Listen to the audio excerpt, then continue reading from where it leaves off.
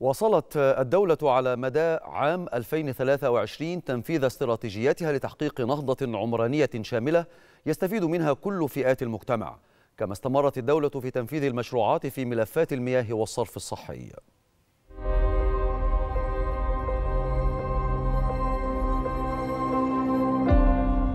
طفرة كبيرة حققتها الدولة المصرية وتفوق غير مسبوق أنجزته في إطار خطتها الطموحة للنهضة العقارية التي بدأتها منذ عام 2014 حيث بذلت جهودا ضخمة وحققت نتائج مميزة جعلت تجربتها العمرانية محط أنظار العالم. الدولة حرصت منذ البداية على تكثيف العمل في مختلف الملفات والمحاور في نفس الوقت لتحقيق إنجاز كبير وسريع فعملت على كل المحاور مثل محور الإسكان الاجتماعي والمتميز والفاخر بالإضافة لطرح الأراضي التي تناسب مختلف الفئات المجتمعية بجانب استمرار العمل على المبادرات التي لاقت قبولا واسعا من المواطنين. كما وضعت نصب أعينها هدفا كبيرا متعلقا بإنجاز الأعمال في ملف المرافق ومياه الشرب والصرف الصحي وذلك استمرارا لتحقيق النهضة وتنمية المدن العمرانية الجديدة وتطوير المدن القائمة بالفعل. وعلى صعيد المدن العمرانية الجديدة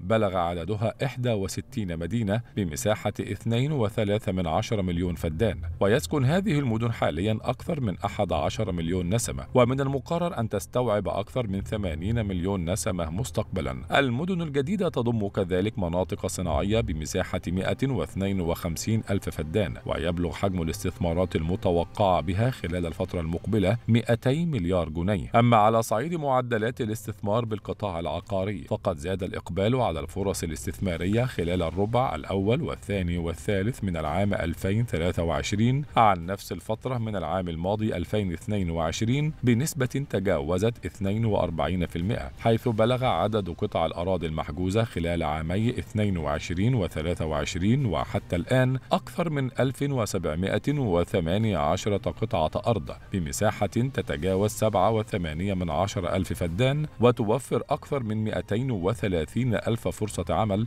لتنفيذ المشروعات عليها. كما تضاعف الإقبال على الحصول على قطع الأراضي بالدولار منذ مطلع عام 2023 حيث بلغ عدد القطع المحجوزة 849 قطعة أرض بمساحة 3560 فدانا. توفر 150 ألف فرصة عمل لتنفيذ المشروعات عليها. بينما بلغ عدد الطلبات لحجز الأراضي بالدولار خلال شهري أغسطس وسبتمبر الماضيين 629 طلبا. فيما بلغت مشروعات الشراكة مع القطاع الخاص بنظام الحصة العينية والنقدية أكثر من 76 مشروعا في ثمان مدن جديدة بمساحة 15 وثلاث من عشر ألف فدان توفر 310 ألاف فرصة عمل. هي إذا جهود كبيرة ونتائج غير مسبوقة. حققتها الدولة في إطار خطتها الطموحة لتحقيق طفرة عقارية.